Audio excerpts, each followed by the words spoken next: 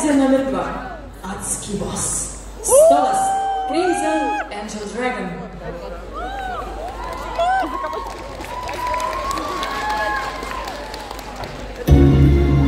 Idę